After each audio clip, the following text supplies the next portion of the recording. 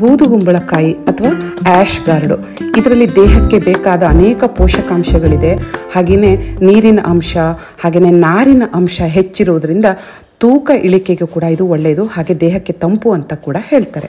ನಮಸ್ತೆ, ನನ್ನ ಜೀವನ ಪಯಣದಲ್ಲಿ ಬನ್ನಿ. ಇವತ್ತು ಈ ಬೂದುಗುಂಬಳಕಾಯಿಯಿಂದ ಒಂದು ಒಳ್ಳೆಯ ರೊಟ್ಟಿ ಮಾಡ್ಕೊಂಡು ತಿನ್ನೋಣ. ಕಟ್ ಮಾಡಿ ಇಟ್ಕೊಂಡ ಬೂದುಗುಂಬಳಕಾಯಿನ ಈ ಥರ ತುರ್ಕೋಬೇಕು. ನಮ್ಮ ಮನೆಯವರು ಮಿಸ್ಟರ್ ಹೆಗಡೆ, ಇವರು ನಮ್ಮ ಮನೆಯ ಮಿಸ್ಟರ್ ಕುಕ್ಕು ಕೂಡ ಹೌದು. ಬೂದುಗುಂಬಳಕಾಯಿ ತುರ್ಕೊಂಡಾಯ್ತು. ಈಗ ಅದಕ್ಕೆ ಹಸಿಮೆಣಸು ಶುಂಠಿ, ಕರಿಬೇವಿನ ಸೊಪ್ಪು, ಕೊತ್ತಂಬರಿ ಸೊಪ್ಪು, ಈರುಳ್ಳಿನ ಸಣ್ಣಗೆ ಹೆಚ್ಚಿಬಿಟ್ಟು ಮಿಕ್ಸ್ ಮಾಡಬೇಕು. ಬೇಗ ಆಗಬೇಕು ಅಂತ ಹೇಳಿಬಿಟ್ಟು ಎಲ್ಲದನ್ನು ಈ ಚೋಪರ್ನಲ್ಲಿ ಹಾಕಿಬಿಟ್ಟು ಚೋಪ್ ಮಾಡ್ತಾ ಇದ್ದಾರೆ. ನೋಡಿ, ಇದೆಲ್ಲ ರೆಡಿ ಆಯಿತು. ಬೂದುಗುಂಬಳಕಾಯಿ ತುರ್ಕೊಂಡು ಇಟ್ಕೊಂಡಿದ್ದೀವಲ್ವಾ? ಅದಕ್ಕೆ ಇದನ್ನೆಲ್ಲ ಮಿಕ್ಸ್ ಮಾಡಿಬಿಟ್ಟು ರುಚಿಗೆ ತಕ್ಕಷ್ಟು ಉಪ್ಪು ಹಾಕಿ, ಅಕ್ಕಿ ಹಿಟ್ಟು ಹಾಕಿ ಕಲಿಸ್ಬೇಕು. ನೋಡಿ, ಈ ಹದಕ್ಕೆ ಕಲಿಸ್ಬೇಕು. ಅಕ್ಕಿ ಹಿಟ್ಟು ಬೇಡ ಅಂದರೆ ನೀವು ಜೋಳ ಅಥವಾ ರಾಗಿ ಹಿಟ್ಟನ್ನು ಕೂಡ ಹಾಕ್ಕೋಬೋದು. ಆವಾಗ ಇದು ಇನ್ನೂ ನ್ಯೂಟ್ರಿಷಿಯಸ್ ಆಗುತ್ತೆ. ಇದಕ್ಕೆ ನೀರು ಹಾಕೋದು ಬೇಡ. ಬೂದುಗುಂಬಳಕಾಯಿ ರಸನೇ ಸಾಕಾಗ್ಬಿಡುತ್ತೆ. ನೋಡಿ, ಈ ಹದಕ್ಕೆ ಒಂದು ಉಂಡೆ ಕಟ್ಟೋ ಥರ ತುಂಬ ತೆಳ್ಳಗೂ ಆಗಬಾರ್ದು, ತುಂಬ ಗಟ್ಟಿನೂ ಆಗಬಾರ್ದು. ನಾವು ಇದನ್ನು ವಡಪ್ಪೆ ಅಂತ ಹೇಳ್ತೀವಿ. ನಮ್ಮ ಮನೆಯವರು ಈ ವಡಪ್ಪೆ ಮಾಡೋದ್ರಲ್ಲಿ ನಿಜವಾಗ್ಲೂ ಸ್ಪೆಷಲಿಸ್ಟ್. ಇವ್ರು ಮಾಡಿದ ವಡಪ್ಪೆ ತುಂಬ ಚೆನ್ನಾಗಿರುತ್ತೆ. ಇದು ಬಟರ್ ಪೇಪರು ಅಥವಾ ವ್ಯಾಕ್ಸ್ ಪೇಪರ್ ಅಂತ ಹೇಳ್ತಾರಲ್ಲ, ಅದು ವಡಪ್ಪೆ ಹಿಟ್ಟು ರೆಡಿಯಾಗಿದೆ. ಈಗ ಅದನ್ನು ತಟ್ಟಲಿಕ್ಕೆ ತಯಾರಿ ಮಾಡ್ಕೋತಾ ಇದ್ದಾರೆ. ಬಟರ್ ಪೇಪರ್ಲಾದರೂ ಮಾಡ್ಬೋದು, ಇಲ್ಲ ಬಾಳೆ ಎಲೆನಲ್ಲಿ ಕೂಡ ತಟ್ಬೋದು.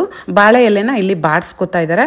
ಆಮೇಲೆ ಅದನ್ನು ಸ್ವಲ್ಪ ನೀಟಾಗಿ ಕ್ಲೀನ್ ಮಾಡಿಕೊಂಡು ಇದ್ರ ಮೇಲೆ ಒಡಪೆನ ಹಚ್ಚಬೇಕು ಒಡಪೆನ ಹಾಲ್ಗುಂಬಳಕಾಯಿ ಸೌತೆಕಾಯಿಲೂ ಮಾಡ್ಬೋದು.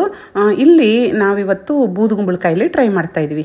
ಬಂಡಿ ಅಥವಾ ತವಾನ ಈಗ ಸ್ವಲ್ಪ ಸಣ್ಣ ಊರಿನಲ್ಲಿ ಬಿಸಿಗಿಟ್ಕೊಂಡಿದ್ದಾರೆ.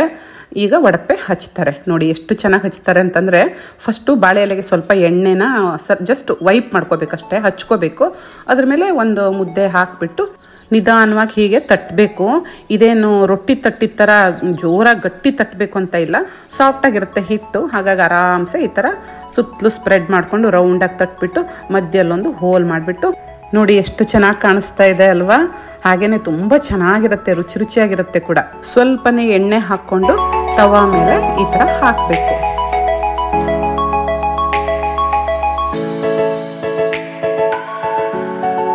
ಒಂದೆರಡು ನಿಮಿಷ ಹೀಗೆ ತವ ಮೇಲೆ ಬಿಟ್ಟರೆ ಅದು ಎಲೆ ಆರಾಮ್ಸೆ ತೆಗಿಲಿಕ್ಕೆ ಬರುತ್ತೆ ಬಾಳೆ ಎಲೆನ. ಅದೇ ಬಾಳೆ ಎಲೆನ ಮತ್ತೊಂದು ಒಡಪೆ ಮಾಡಲಿಕ್ಕೆ ಉಪಯೋಗಿಸ್ಬೋದು. ನೋಡಿ, ಇವಾಗ ಸ್ವಲ್ಪ ಎಣ್ಣೆ ಹಾಕ್ತಾ ಇದ್ದಾರೆ ಆ್ಯಕ್ಚುಲಿ ಜಾಸ್ತಿ ಎಣ್ಣೆ ಬೇಕಾಗಲ್ಲ. ಸ್ವಲ್ಪನೇ ಸಾಕಾಗತ್ತೆ. ಎಣ್ಣೆ ಹಾಕದೇ ಇದ್ರೂ ಪರವಾಗಿಲ್ಲ. ನೀವೇನಾದರೂ ಡಯೆಟ್ಟಲ್ಲಿದ್ದರೆ ನೋಡಿ, ಈ ಥರ ಸ್ವಲ್ಪ ಬೇಯುತ್ತೆ ಅದೀಗ. ಸಣ್ಣ ಊರಿನಲ್ಲಿ ಬೇಯಿಸ್ಬೇಕು ಆವಾಗ ಚೆನ್ನಾಗಿರುತ್ತೆ. ಅದನ್ನು ತಿರುಗಿಸಿ ಹಾಕಬೇಕು. ನೋಡಿ ಇಲ್ಲಿ ಆಲ್ರೆಡಿ ಒಂದು ಒಡಪೆ ರೆಡಿಯಾಗಿದೆ ಈಗ ಇನ್ನೊಂದು ರೆಡಿ ಆಗ್ತಾ ಇದೆ.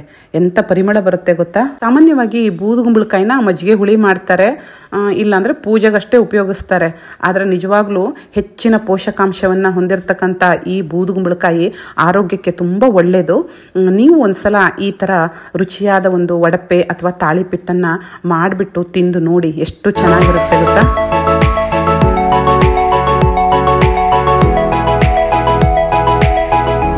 ಆಹಾ ರುಚಿ ರುಚಿಯಾದ ವಡಪೆ ರೆಡಿ ಆಯಿತು. ಈಗ ಇದಕ್ಕೆ ಜೋನಿ ಬೆಲ್ಲ ತುಪ್ಪ ಚಟ್ನಿ ಚಟ್ನಿ ಪುಡಿ ನಿಮಗೆ ಏನಿಷ್ಟ ಅದನ್ನು ಹಚ್ಕೊಂಡು ತಿಂತಾ ಇರಬೇಕು. ನಾನಿವತ್ತಿಲ್ಲಿ ಚಟ್ನಿ ಮಾಡಿಲ್ಲ. ಹಾಗಾಗಿ ಬೆಲ್ಲ ತುಪ್ಪ ಮತ್ತು ಚಟ್ನಿ ಪುಡಿ ಹಾಕ್ಕೊಂಡು ತಿಂತಾ ಇದ್ದೀವಿ ನೋಡಿ ನಮ್ಮ ಹುಡುಗಿ ಆನಂದವಾಗಿ ತಿಂತಾ ಇದ್ದಾಳೆ. ಹೇಗಾಗಿದೆ ಅಂತ ಕೇಳಿದೆ? ಚೊಲಾಜು. ಚೆನ್ನಾಗಾಗಿದೆ ಅಂತ ಹೇಳ್ತಾ ಇದ್ದಾಳೆ. ನಮ್ಮಲ್ಲಿ ಎಲ್ರಿಗೂ ಈ ಒಡಪೆ ಅಥವಾ ತಾಳಿಪಿಟ್ಟು ತುಂಬ ಇಷ್ಟ. ನೀವು ಕೂಡ ಒಂದು ಸಂಡೇ ಮಾಡಿ ನೋಡಿ ಮತ್ತು ಹೇಗಾಗಿದೆ ಅಂತ ತಿಳಿಸಿ. Thank you for watching